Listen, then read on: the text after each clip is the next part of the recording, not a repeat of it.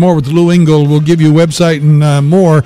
Uh, so that you can also plug into the work that he and his organization is uh, so vitally doing and has been for so many years on behalf of our nation.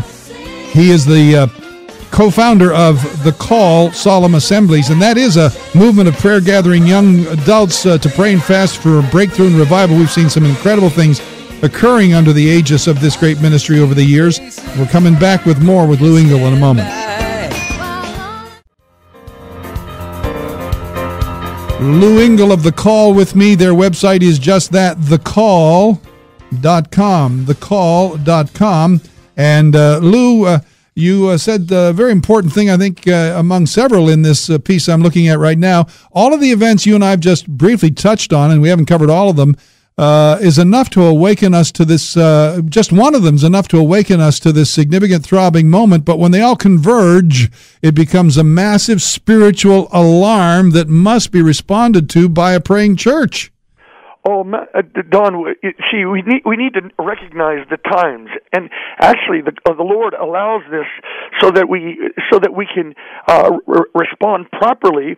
And I think, frankly, He's calling the church to united, massive praying right now across the nation concerning the thing that's coming on on Friday, and again with this Rifqa, the 17 year old girl who's uh, uh, confessing Christ, but is uh, um, allegedly being being um, threatened by death if she doesn't deny Christ. We this is after 40 days of Ramadan, the Muslim 40 days of fasting. It's interesting, even Don, that the holy days of, uh, of the Jewish holy days begin right at the end of Ramadan. I think there's a convergence here, and it's a call for spiritual response and prayer. And so um, I, we're calling people to fast and pray as the Lord would lead them all through this week, and on, particularly on Friday.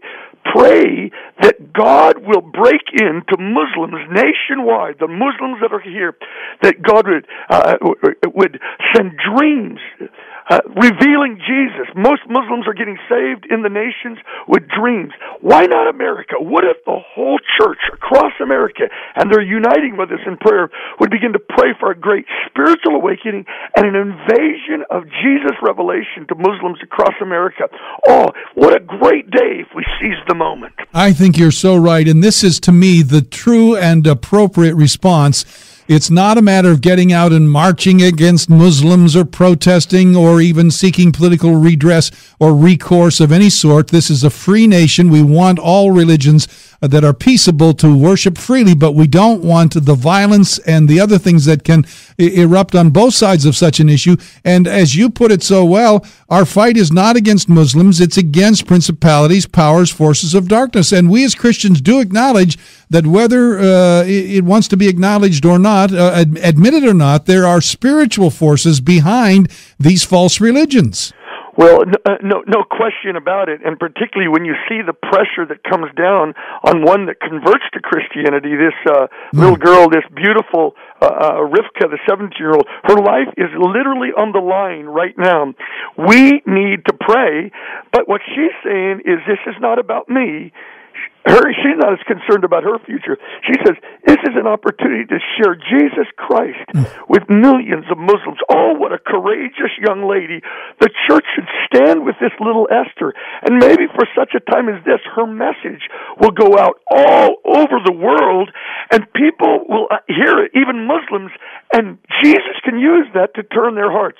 Let's not point the finger in anger. Let's cry out to God for a mighty breakthrough of his of the gospel. And would you agree it needs to be said that millions of Muslims uh, do not support honor killing. However, it is not unheard of among um, uh, fundamentalist, uh, staunch, uh, even radical Islamists right here in the United States. There have been cases of, of honor killings here in the U.S. Well, this this family actually comes from Ohio and is a part of a mosque that has a very documented and well-known uh, uh, traffic of uh, of extremists coming through it. It's it's not just a uh, uh, uh you know a middle you know kind of a um, a a middle of the road kind of mosque. It, it it has an extremist edge to it, and we can't we have to take this serious. Particularly even in America, Don, we are facing a moment of time that actually Muslims uh, with Sharia law would be free to actually release this kind of abuse on a child in a nation that has preserved liberty. This can't happen.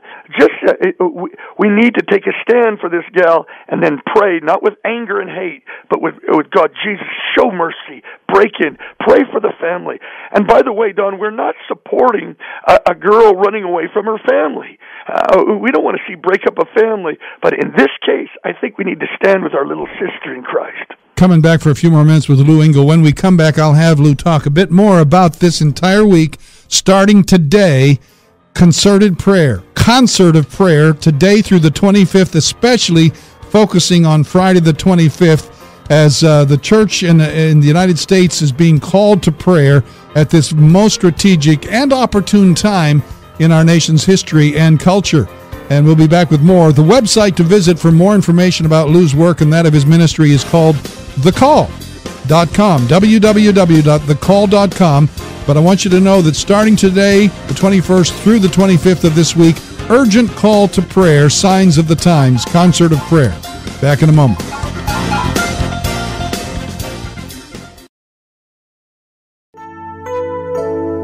Don Kroah Show on WAVA. Lou Engle with me of The Call. Their website is thecall.com. Critical week right now in our nation's life and history. And uh, we've talked briefly about uh, some of the convergence uh, uh elements that are all coming together at this particular moment in time. Uh, Lou, from a spiritual perspective, what do you sense the Lord saying to our nation with this uh, dramatic rise of Islamic emphasis and focus and as you've already pointed out, a president who at least certainly has not stood very well by very well alongside the Christian community, but seems to me to be bending over backwards every chance he gets to, uh, uh, you know, to uh, indicate his uh, interest in or his support of the Muslim faith. Well, I, it's uh, we really the church needs to understand that neutrality in spiritual issues there is no such thing when uh, you know, and uh, uh, Jehu was riding into Jezebel's camp, says, uh, uh, "Do you?" She says, "Do you come in peace?" Says, How can there be any peace as long as the sorceries uh, and adulteries of uh, Jezebel are in the land? Again, we're not talking about people; we're talking about spiritual powers. That's why, Don, mm-hmm. it is so essential that the church prays. You know, Don, it was in 1996 on a 40-day fast. I received a dream we received a dream in which there was a Buddhist house of prayer on top of a Christian house of prayer, dominating the Christian house of prayer. But in the dream, the Christian house of prayer did a reversal and begin to dominate or contend and win the battle over the Buddhist house of prayer. And out of this dream, the Lord spoke to me my life calling for partly, which is raise up a house of prayer that contends with every other house. How is the Christian house of prayer going to contend with a Muslim house of prayer that prays five times a day? And in the Christian house of prayer, you can barely get people to a prayer meeting. Now that's all changing. Something's changing. Right now, God is calling the church to a whole new dimension of prayer, not just this week, but nationwide, we must begin to contend for a great awakening. The nation is at a state of breakdown. I want to I want to get a thought from you before we lose run out of time. I'll pick yeah. up on what you just said. Uh, it's it's a terrible mistake on the part of the Christian community to think that those five times of prayer in the Muslim faith are mere religious exercises. In other words, they you're saying they have spiritual effect and impact in the spirit world. No question, sacrifice in any spiritual dimension or even any religion releases spiritual power. The church doesn't understand that. We, uh, uh when you open up mosque in a nation, there is prayer being invoked into a region. That's why it's a call to a responsive prayer. And Don, I'm going to be on Thursday night from 7:30 to 9 o'clock with James Dobson and Shirley Dobson, Mike Huckabee, Tony Perkins. We're doing a massive pr- phone prayer uh, gathering uh, Eastern time, 7:30 Eastern time, and the information's on thecall.com. I, I, Don, I'm so gripped that the church must pray for revival like we had never had. We can't go on business as usual, Don. And we don't have to wait for political things to change. Our primary weapons are not carnal, Paul said, or of the flesh. They are mighty through God. They're spiritual and mighty through God, the pulling down of the strongholds of Satan. So we don't have to be a Democrat or Republican or resort to political machinations to get the victory. Don, when the church understands this, the ones who win the battle in the air through Mm. fasting prayer actually we can win it on the ground. We try it with political things, but we need air supremacy. A war cannot be won without winning the battle of the sky. It's the same way with the spirit. That's why Daniel fasts and prays 21 days, and suddenly there's a breakthrough. The church must win this, uh, understand this in every region, in every church. It's the time to recover prayer and fasting for spiritual breakthrough. Lou, thank you, my friend, for your friendship, your leadership, and God bless you. We'll keep spreading the word with you. I love you, Don. Thanks so much. I love you as well, my friend. Lou Engle. Again, go to thecall.com on the web. Get all the information uh, that we've just briefly touched on. And uh, uh, you want to know more about that special prayer gathering that uh, Lou just mentioned with uh, other Christian leaders. You'll find that information as well. www.thecall.com. Thanks for being with us during this part.